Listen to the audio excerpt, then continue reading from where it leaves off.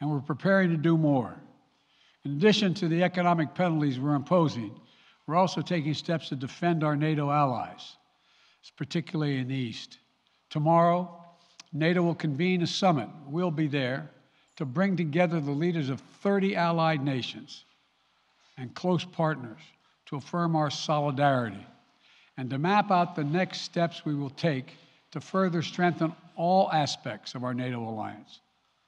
Although we provided over $650 million in defensive assistance to Ukraine just this year, this last year, let me say it again. Our forces are not and will not be engaged in the conflict with Russia in Ukraine. Our forces are not going to Europe to fight in Ukraine, but to defend our NATO allies and reassure those allies in the East. As I made crystal clear, the United States will defend every inch of NATO territory with the full force of American power. And the good news is, NATO is more united and more determined than ever. There is no doubt, no doubt that the United States and every NATO ally will meet our Article 5 commitments, which says that an attack on one is an attack on all. Over the past few weeks, I ordered thousands of additional forces to Germany and Poland as part of our commitment to NATO. On Tuesday, in response to Russia's aggressive action, including its troop presence in Belarus and the Black Sea, I've authorized deployment of ground and air forces already stationed in Europe to NATO's eastern flank allies Estonia, Latvia, Lithuania, Poland, and Romania.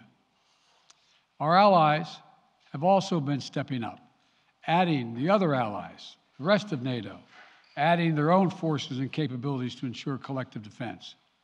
And today, within hours of Russia's unleashing its assault, NATO came together and authorized and activated an activation of response plans. This will enable NATO's high readiness forces to deploy and when and where they are needed to protect our NATO allies on the eastern boundaries of Europe. And now I'm authorizing additional U.S. force capabilities to deploy to Germany as part of NATO's response, including some of the U.S. based forces that the Department of Defense placed on standby weeks ago. I've also spoken with Defense Secretary Austin and Chairman of the Joint Chiefs, General Milley, about preparations for additional moves should they become necessary to protect our NATO allies and support the greatest military alliance in the history of the world, NATO.